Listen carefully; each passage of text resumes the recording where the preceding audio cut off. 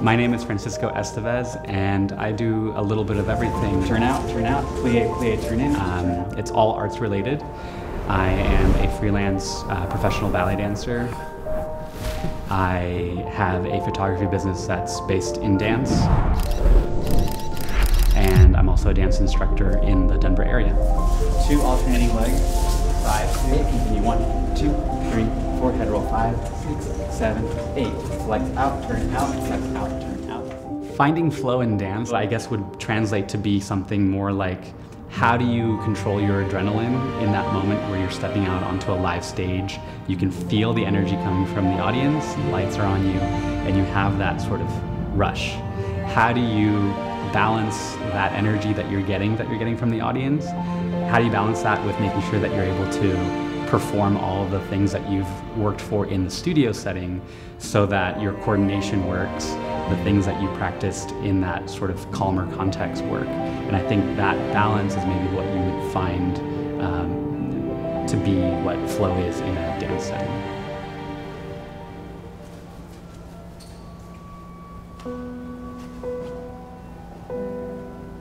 So I was first diagnosed with testicular cancer in 2013. I felt that something was wrong, and so we went in for a regular checkup. And 24 hours later, I was having surgery to get the mass out. And thankfully, like that was it. We caught it early enough so that that surgery did the trick. That was 10 years ago.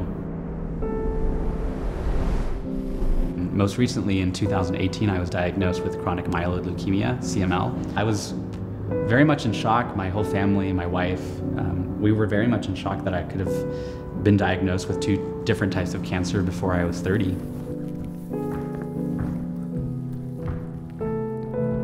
You know, it's always tough to see the, the person that you care so much about or a person you care so much about going through that. Um, and I felt very strongly that my role was there to support Fran in that journey being that person that was sort of looking for the solutions and looking for ways to make sure that he he was strong and felt supported. There were times when I was, I would think to myself, what have I done to deserve this twice or deserve it at all? And um, you're allowed to have that human emotional response to it. But for the most part, I, I would say yes, dance definitely not only helped because it was a network, but performing is, is like that as well, right? You're problem solving.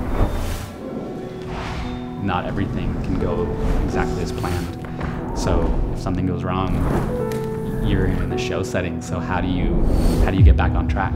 That's sort of the mentality that I've I've always had is how do we come out of this in a positive way?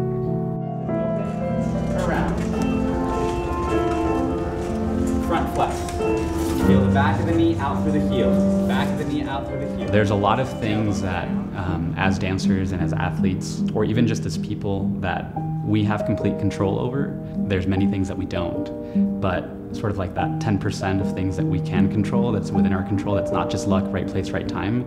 Those are the things that, you know, work ethic, being on time, being prepared, all those things that have to do with what you can control is what we look for in a dancer. So if you, that's really more than more than having beautiful legs and feet and being able to turn 10 times.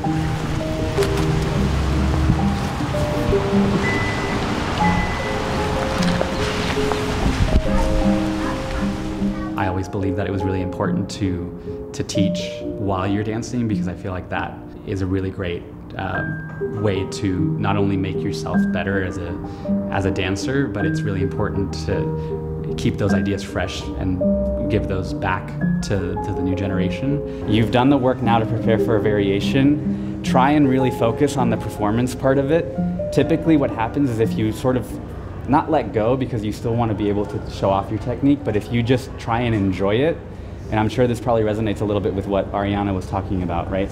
Switch shifting that focus from something that's nervous and negative to something that's positive and enjoyable. Remember that you're dancers because you like to dance, right? And we do all this work to get on stage, and if it's really stressful to get on stage, it's almost sometimes not worth it, right? So you have to find a way to recapture that joy that you had for dance and try and put that on the stage right now because these are opportunities that when you're my age, you're going to look back on and say, man, I wish I'd enjoy that more.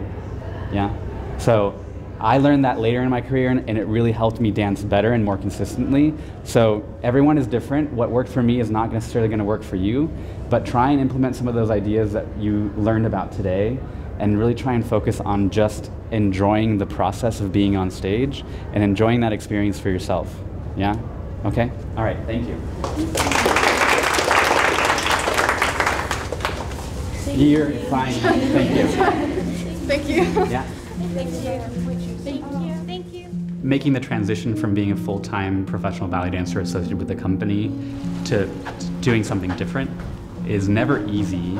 Being a dancer in that setting is all-consuming, like like any other demanding physical activity or profession is. You know, you eat, sleep, and breathe to do that one thing. As a dancer that's away from company life, I have to exercise like switching back and forth in my both in my body and brain a lot more now. So that has a different type of toll on on my on how much I get tired.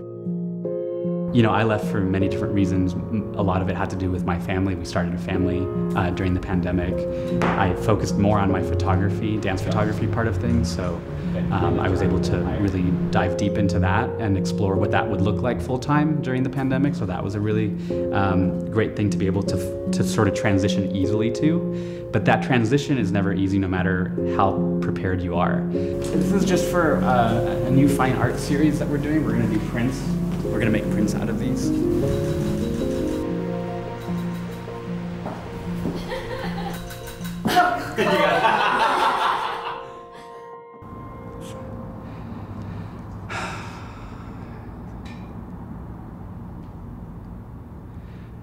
I think that if someone's going through a, a, really challenging time in their life, I think they just have to give themselves the time and space to have what reaction they're having to it.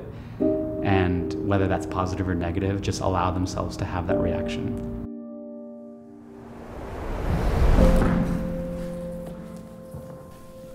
If you're lucky enough to have a community that you can rely on and lean on and have as a support, don't be afraid to reach out to them.